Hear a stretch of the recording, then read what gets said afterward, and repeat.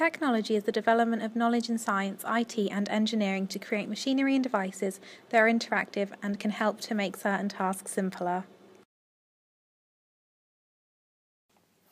In the production of our media product, we used a variety of new media technologies. This includes filming equipment, post production programs, and presentation software.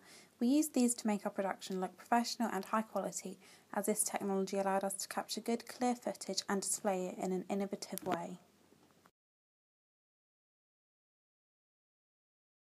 The camera we used was a Panasonic HDC SD90. This camera has many features, for example, the auto and manual focus options make focus pulls possible, as well as the white balance adjustments. This ensures that the lighting is consistent between shots. Using the Velbon tripod was very helpful in our production because it allowed us to, to film steady footage with smooth panning movements. This made the shots aesthetically pleasing as they were straight when needed and enabled us to extend it to reach the heights needed to get everything in the frame. This enabled us to make framing the best it can be because I'm able to adjust the height and angle of the camera on the tripod. An example of where this worked to, our advantage was during the first point of view shot which showed Ricky walking whilst the camera is concealed in bushes. The adjustable height was useful here as it enabled me to extend the tripod so the camera did not show the thicker non-transparent part of the bush. This benefited my production because it allowed the camera to capture footage that would otherwise be out of reach. Using the boom mic was very convenient as it was light and easy to use. All we had to do was plug it into the camera and hold it. We used this during the first scene which shows the characters talking and interacting. However, the use of the boom mic was not as effective as I'd aimed it to be. Wind noise is still evident within the first scene and can be quite distracting to the viewers. I think this may have been due to me, the camera operator, having to hold the microphone and so it was quite far from the actors. As a result, I think that the sound could be improved within the first scene of the opening sequence.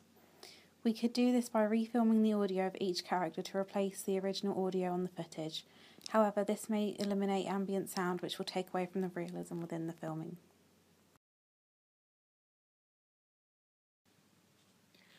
Construct our media product, we used Adobe Premiere to edit the footage together.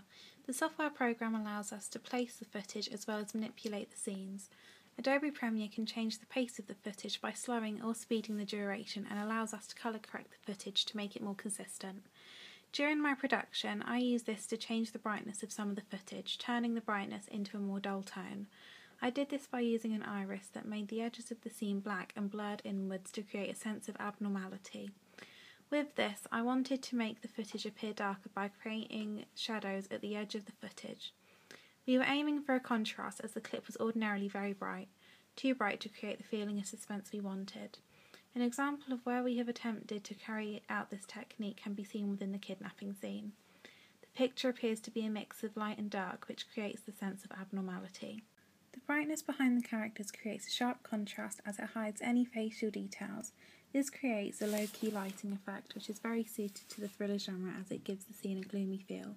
Plus, as the program allows the user to add several audio clips to the film, music accompanies the scene. This contributes to the success of the technique because music is very emotive and can help to evoke feelings of tension. As a result, I believe that I have been effective in using this technique. Adobe Premiere After Effects is another form of new technology that we use to create the company credits and title sequence. The software program allowed us to use templates and customize them to make them fit our production. For example, we could change the colors, movements, and fonts of the opening sequence. To display my research, I have used Blogger. This is a new technology that has allowed me to upload my work to show the process of producing my film.